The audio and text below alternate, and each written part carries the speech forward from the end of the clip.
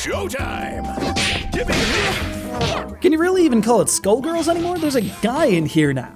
Apparently, Cerebella wasn't heavy enough, and folks needed someone to fill the Maxima slash Potemkin slash Tager role. But we'll get to the new cast in just a little while. It's Skullgirls, the moderately exploitative, super hardcore 2D fighter that's had some of the worst luck in the industry. Having to deal with the fickle natures of everyone from Microsoft to Konami just to get their game working on every platform it's supposed to be working on. It's taken a massive amount of work just to make good on the promises made during Lab Zero's Indiegogo campaign, so hopefully everything's worked out and the game's all the better for it, right? Well, actually, that's exactly right. Skullgirls Encore is the ironing out of all the issues that led up to this point, and there were plenty.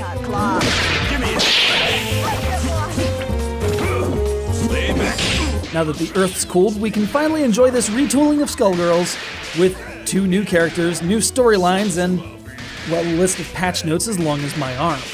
This being a fighting game, a number of these adjustments are the kind of minuscule tweaks that normal human beings would never notice, but make a huge difference to the frame counting psychos that form this title's user base. Things such as, quoting, Level 1 supers have been adjusted to have one frame of overlap between super flash induced hit stop and active frames. There are a few exceptions. End quote. Most functioning human beings would find a change like this imperceptible. This game is not for those people.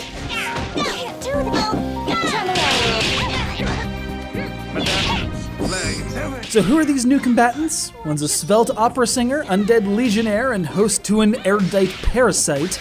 The other's called Big Band for obvious reasons.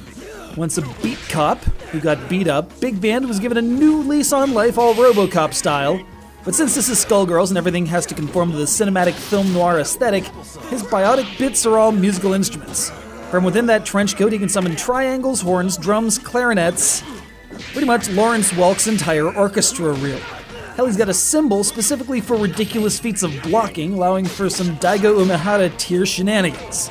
Squigly, on the other hand, is a faster and lighter brawler who's on much better terms with her magical passenger Leviathan than, say, Filia and Samson.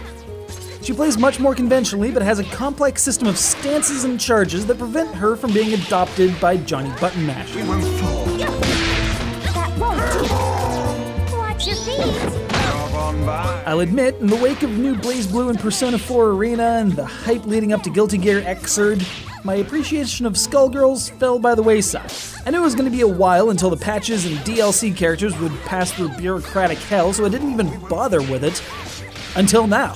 Now things are in place. You can enjoy the revamped, retooled mechanics and play through the new stories, and remember why Skullgirls was great in the first place. Awesome fluid animation, a deranged sense of humor, 10,000 pop culture references, that crazy combo naming system, an aesthetic that brings back the old timey fonts and decoration of the infancy of film into 2014, and a soundtrack that would have you snapping your fingers on every downbeat if you weren't locked into a death grip on your arcade stick. Now, with 100% fewer, Konami randomly delisting the game from PSN shenanigans. Sax